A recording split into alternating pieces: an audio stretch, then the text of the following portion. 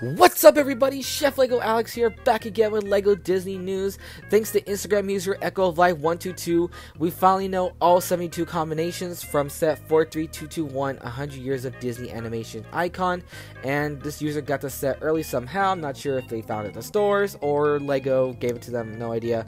But either way, we got all 72 combinations, starting left to right, we got Nemo, Luca and Alberto's Vespa, Alien, Miguel, The Incredibles logo, WALL-E, Carl's House, Remy, Mike, Lightning McQueen, Mei, Luxo Jr., Mickey, Minnie, the Disney 100, the Mickey emblem, Belle's Rose, the Genie Lamp, we got the Candle from Encanto, we got Ursula's Shell Necklace, we got Cinderella's Slipper, Arthur's Sword, we also got the Pumpkin Carriage in the Disney Castle, we got Daisy, Donald, Mickey, Minnie, Pluto, Goofy, Chip and Dale, we got the one with the stars, the zeros of Mickey, Minnie, and Scrooge McDuck, we got Rapunzel, Ariel, Cinderella, Pocahontas, Jasmine, Snow White, Aurora, Tiana, Mulan, Merida, Belle, Moana. We got Elsa, Olaf, Anna, Lumiere, Stitch, Mirabel, Dumbo, Alice, Pooh, Pua, Simba, Magic Carpet.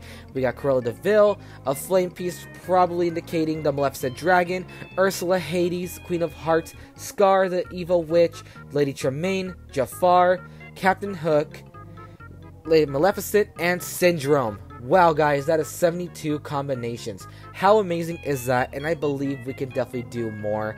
Uh, one idea I have is definitely representing Treasure Planet, maybe Brother Bear, um, you know, other Pixar films I really can't think of at the moment. No, uh, other than just the alien from Toy Story, maybe we could do Woody, we could do Buzz. Uh, it's just so many combinations, and it's just super duper exciting. It gives me a better reason to want to set even more. Um, I'm definitely looking forward to when this set does release. And yeah, again, the fact you get a painter Mickey and you get like a total of 72 combinations, this is just outstandingly amazing.